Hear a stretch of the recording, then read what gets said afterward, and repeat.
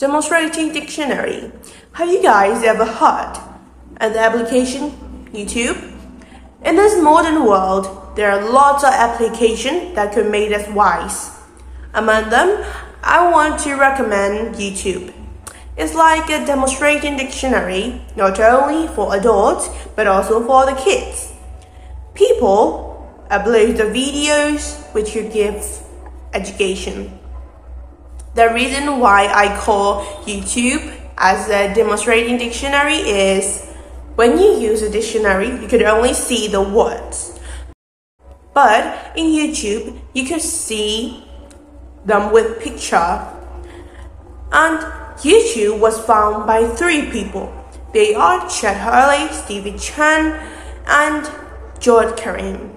They started in a pizzeria and Japanese restaurant. YouTube is my second teacher. I'm gonna tell you why I regard YouTube as my teacher below. My first teacher taught me how to read and write. He and he or she may also an unforgettable person. My second teacher, YouTube, it taught me every lesson I wanted to learn. For example, I didn't know how to crochet. That is not included in the uh, that doesn't include in the school course. Yes, I didn't know how to crochet, so I searched on YouTube the videos and tutorial associated with it, and I became a person who can crochet. And nobody taught me how to do this I'm so proud of myself on this. And also more like probably guitar, makeup, speaking English. I could search every tutorial and videos about them. And on and I also listen to the music video with lyrics on YouTube. And by doing like this, it helps to improve our English skills.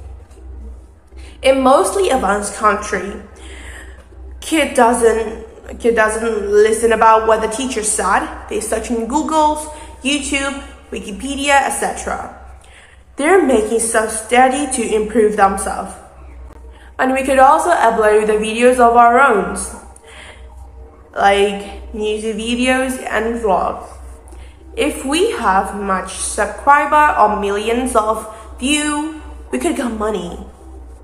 That's why nowadays most of you doing like influencer, vlogger, musician, yes, they post they post on social media like YouTube and they could get money on what they could do and what they did.